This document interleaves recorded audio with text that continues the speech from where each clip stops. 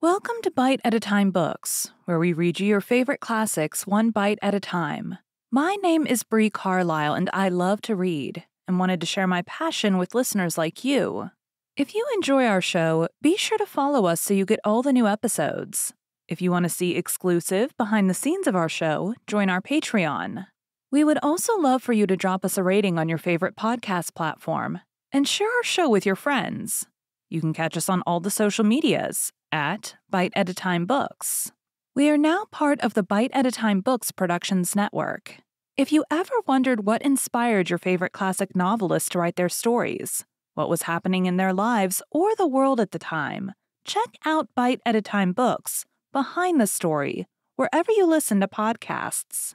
Today we will be continuing The Three Musketeers by Alexandre Dumas. 12. George Villiers, Duke of Buckingham. Madame Bonacieux and the Duke entered the Louvre without difficulty. Madame Bonacieux was known to belong to the Queen. The Duke wore the uniform of the Musketeers of M. de Treville, who, as we have said, were that evening on guard. Besides, Germain was in the interests of the Queen, and if anything should happen, Madame Bonacieux would be accused of having introduced her lover into the Louvre. That was all. She took the risk upon herself. Her reputation would be lost, it is true, but of what value in the world was the reputation of the little wife of a mercer? Once within the interior of the court, the Duke and the young woman followed the wall for the space of about twenty five steps. This space passed. Madame Bonacieux pushed a little servant's door, open by day but generally closed at night. The door yielded. Both entered and found themselves in darkness, but Madame Bonacieux was acquainted with all the turnings and windings of this part of the Louvre, appropriated for the people of the household. She closed the door after her, took the Duke by the hand, and after a few experimental steps, grasped a balustrade, put her foot upon the bottom step, and began to ascend the staircase. The Duke counted two stories. She then turned to the right, followed the course of a long corridor, descended a flight, went a few steps further, introduced a key into a lock, opened a door, and pushed the Duke into an apartment lighted only by a lamp, saying, Remain here, my Lord Duke. Someone will come. She then went out by the same door which she locked, so that the Duke found himself literally a prisoner. Nevertheless, isolated as he was, we must say that the Duke of Buckingham did not experience an instant of fear, one of the salient points of his character was the search for adventures and a love of romance. Brave, rash, and enterprising, this was not the first time he had risked his life in such attempts. He had learned that the pretended message from Anne of Austria, upon the faith of which he had come to Paris, was a snare. But instead of regaining England, he had, abusing the position in which he had been placed, declared to the Queen that he would not depart without seeing her. The queen had at first positively refused, but at length became afraid that the duke, if exasperated, would commit some folly. She had already decided upon seeing him and urging his immediate departure. When, on the very evening of coming to this decision, Madame Bonacieux, who was charged with going to fetch the Duke and conducting him to the Louvre, was abducted. For two days, no one knew what had become of her, and everything remained in suspense. But once free and placed in communication with Laporte, matters resumed their course, and she accomplished the perilous enterprise which, but for her arrest, would have been executed three days earlier. Buckingham, left alone, walked toward a mirror. His musketeer's uniform became him marvelously. At 35, which was then his age, he passed with just title for the handsomest gentleman and the most elegant cavalier of France or England the favorite of two kings, immensely rich, all powerful in a kingdom which he disordered at his fancy and calmed again at his caprice, George Villiers, Duke of Buckingham, had lived one of those fabulous existences which survive in the course of centuries to astonish posterity. Sure of himself, convinced of his own power, certain that the laws which rule other men could not reach him, he went straight to the object he aimed at even were this object were so elevated and so dazzling that it would have been madness for any other even to have contemplated it. It was thus he had succeeded in approaching several times the beautiful and proud Anne of Austria, and in making himself loved by dazzling her. George Villiers placed himself before the glass, as we have said, restored the undulations to his beautiful hair, which the weight of his hat had disordered, twisted his mustache, and, his heart swelling with joy, happy and proud at being near the moment he had so long sighed for, he smiled upon himself with pride and hope. At this moment, a door concealed in the tapestry opened, and a woman appeared. Buckingham saw this apparition in the glass. He uttered a cry. It was the Queen. Anne of Austria was then 26 or 27 years of age. That is to say, she was in the full splendor of her beauty. Her carriage was that of a queen or a goddess. Her eyes, which cast the brilliancy of emeralds, were perfectly beautiful, and yet were at the same time full of sweetness and majesty. Her mouth was small and rosy, and although her underlip, like that of all princes of the House of Austria, protruded slightly beyond the other, it was eminently lovely in its smile, but as profoundly disdainful in its contempt. Her skin was admired for its velvety softness. Her hands and arms were of surpassing beauty, all the poets of the time singing them as incomparable. Lastly, her hair, which from being light in her youth had become chestnut, and which she wore curled very plainly and with much powder, admirably set off her face, in which the most rigid critic could only have desired a little less rouge, and the most fastidious sculptor a little more fineness in the nose. Buckingham remained for a moment dazzled. Never had Anne of Austria appeared to him so beautiful. Amid balls, fetes, or carousals, all she appeared to him at this moment, dressed in a simple robe of white satin, and accompanied by Donna Estefania, the only one of her Spanish women who had not been driven from her by the jealousy of the king or by the persecutions of Richelieu. Anne of Austria took two steps forward. Buckingham threw himself at her feet, and before the queen could prevent him, kissed the hem of her robe. Duke, you already know that it is not I who caused you to be written to. Yes, yes, madame. Yes, your majesty, cried the duke. I know that I must have been mad, senseless, to believe that snow would become animated or marble warm. But what then? They who love believe easily in love. Besides, I have lost nothing by this journey because I see you. Yes, replied Anne, but you know why and how I see you, because, insensible to all my sufferings, you persist in remaining in a city where, by remaining, you run the risk of your life and make me run the risk of my honor. I see you to tell you that everything separates us the depth of the sea, the enmity of kingdoms, the sanctity of vows. It is sacrilege to struggle against so many things, my lord. In short, I see you to tell you that we must never see each other again.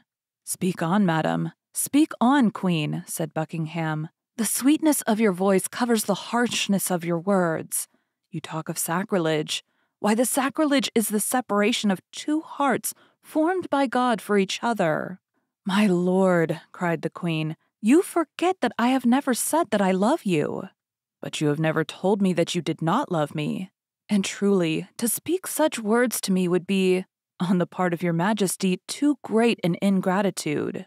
For tell me, where can you find a love like mine? A love which neither time nor absence nor despair can extinguish.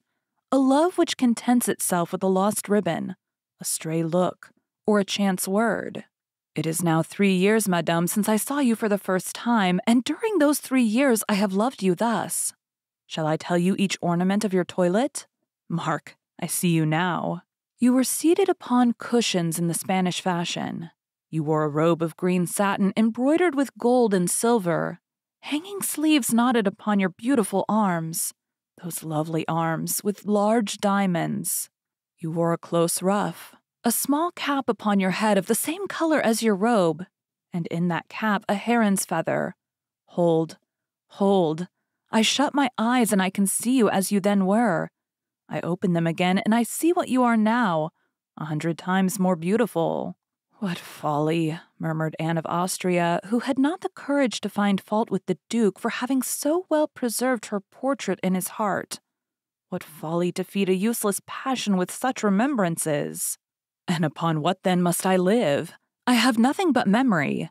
It is my happiness, my treasure, my hope. Every time I see you is a fresh diamond which I enclose in the casket of my heart. This is the fourth which you have let fall and I have picked up. For in three years, madame, I have only seen you four times. The first, which I have described to you, the second at the mansion of Madame de Chevreuse, the third in the gardens of Amiens. Duke, said the queen, blushing, never speak of that evening. Oh, let us speak of it. On the contrary, let us speak of it. That is the most happy and brilliant evening of my life. You remember what a beautiful night it was. How soft and perfumed was the air. How lovely the blue heavens and star enameled sky. Ah, then, madame, I was able for one instant to be alone with you.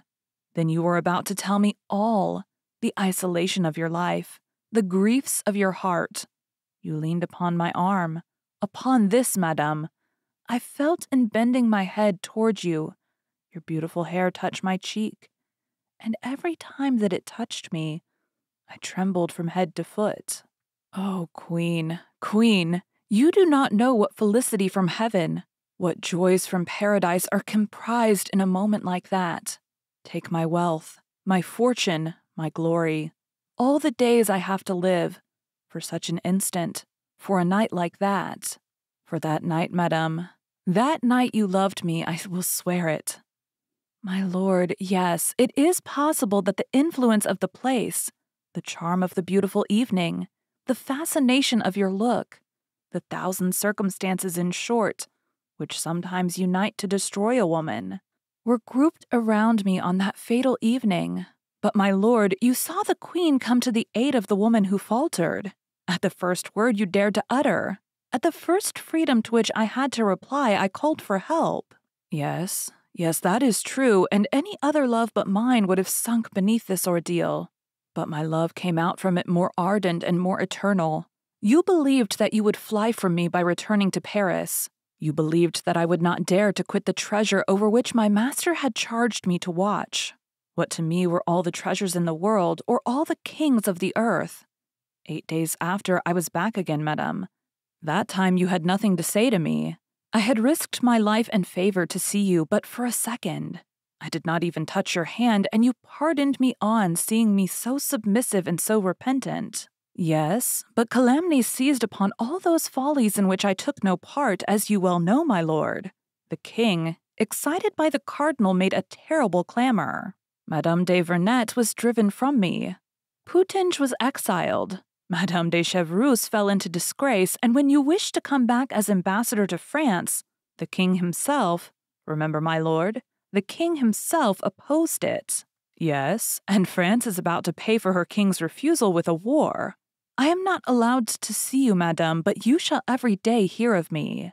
What object, think you, have this expedition to Ré and this league with the Protestants of La Rochelle which I am projecting? The pleasure of seeing you. I have no hope of penetrating sword in hand to Paris. I know that well. But this war may bring round a peace. This peace will require a negotiator. That negotiator will be me. They will not dare to refuse me then, and I will return to Paris and will see you again, and will be happy for an instant. Thousands of men, it is true, will have to pay for my happiness with their lives. But what is that to me, provided I see you again? All this is perhaps folly, perhaps insanity, but tell me what woman has a lover more truly in love? What queen a servant more ardent? My lord, my lord, you invoke in your defense things which accuse you more strongly. All these proofs of love which you would give me are almost crimes. Because you do not love me, madame. If you loved me, you would view all this otherwise. If you loved me, oh, if you loved me, that would be too great happiness, and I should run mad. Ah, Madame de Chevreuse was less cruel than you. Holland loved her, and she responded to his love. Madame de Chevreuse was not queen, murmured Anne of Austria, overcome in spite of herself by the expression of so profound a passion. You would love me then? If you were not queen? Madame, say that you would love me then. I can believe that it is the dignity of your rank alone which makes you cruel to me. I can believe that had you been Madame de Chevreuse, poor Buckingham might have hoped. Thanks for those sweet words. Oh, my beautiful sovereign, a hundred times thanks. Oh, my lord, you have ill understood, wrongly interpreted. I did not mean to say. Silence, silence, cried the Duke. If I am happy in an error, do not have the cruelty to lift me from it. You have told me yourself, madame, that I have been drawn into a snare. I perhaps may leave my life in it. For, although it may be strange, I have for some time had a presentiment that I should shortly die. And the Duke smiled, with a smile at once sad and charming. Oh my God, cried Anne of Austria, with an accent of terror which proved how much greater an interest she took in the Duke than she ventured to tell. I do not tell you this, madame, to terrify you. No, it is even ridiculous for me to name it to you, and believe me, I take no heed of such dreams. But the words you have just spoken, the hope you have almost given me, will have richly paid all, were it my life. Oh, but I, said Anne, I also, Duke, have had presentiments. I also have had dreams. I dreamed that I saw you lying bleeding, wounded, in the left side? Was it not? And with a knife? interrupted Buckingham. Yes, it was so, my lord, it was so. In the left side and with a knife. Who can possibly have told you I had had that dream? I have imparted it to no one but my God, and that in my prayers. I ask for no more. You love me, madame. It is enough. I love you? I. Yes. Yes. Would God send the same dreams to you as to me if you did not love me? Should we have the same presentiments if our existences did not touch at the heart? You love me, my beautiful queen, and you will weep for me? Oh, my God, my God, cried Anne of Austria. This is more than I can bear. In the name of heaven, Duke, leave me. Go. I do not know whether I love you or love you not, but what I know is that I will not be perjured. Take pity on me then, and go. Oh, if you are struck in France, if you die in France, if I could imagine that your love for me was the cause of your death, I could not console myself. I should run mad. Depart then. Depart, I implore you. Oh, how beautiful you are thus. Oh, how I love you, said Buckingham. Go, go, I implore you, and return hereafter. Come back as ambassador. Come back as minister. Come back surrounded with guards who will defend you, with servants who will watch over you. And then I shall no longer fear for your days, and I shall be happy in seeing you. Oh? Is this true what you say? Yes. Oh, then some pledge of your indulgence, some object which came from you and may remind me that I have not been dreaming. Something you have worn and that I may wear in my turn. A ring, a necklace? A chain? Will you depart? Will you depart if I give you that you demand? Yes. This very instant? Yes. You will leave France. You will return to England. I will. I swear to you. Wait, then. Wait. Anne of Austria re entered her apartment and came out again almost immediately, holding a rosewood casket in her hand with her cipher encrusted with gold. Here, my lord, here, said she, keep this in memory of me. Buckingham took the casket and fell a second time on his knees. You have promised me to go, said the queen, and I keep my word. Your hand, madam, your hand, and I depart. Anne of Austria stretched forth her hand, closing her eyes and leaning with other upon Estefania, for she felt that her strength was about to fail her. Buckingham pressed his lips passionately to that beautiful hand, and then rising said, Within six months, if I am not dead, I shall have seen you again, madame, even if I have to overturn the world. And faithful to the promise he had made, he rushed out of the apartment. In the corridor, he met Madame Bonacieux, who waited for him, and who, with the same precautions and the same good luck, conducted him out of the Louvre. Thank you for joining Bite at a Time Books today while we read a bite of one of your favorite classics. If you enjoy our show, be sure to follow us so you get all the new episodes. If you want to see exclusive behind the scenes of our show, join our Patreon. We would also love for you to drop us a rating on your favorite podcast platform and share our show with your friends. You can catch us on all the social medias at Bite at a Time Books. Also, be sure to check us on our website, www.biteatatimebooks.com. We are now part of the Bite at a Time Books Productions Network. If you ever wondered what inspired your favorite classic novelists to write their stories, what was happening in their lives or the world at the time, check out Bite at a Time Books Behind the Story, Tuesdays wherever you listen to podcasts.